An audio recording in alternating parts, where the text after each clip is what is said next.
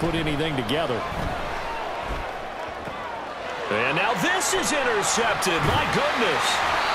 Sauce Gardner puts it on. On their first drive of the third quarter, and Charles, they're trailing in this ball game, but we got a tight one set up to be a very inter. A pair of first downs, and here a loss of yardage.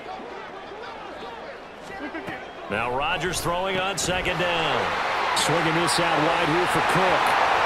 He'll get this one down near 10. Uh, give to Hall running right.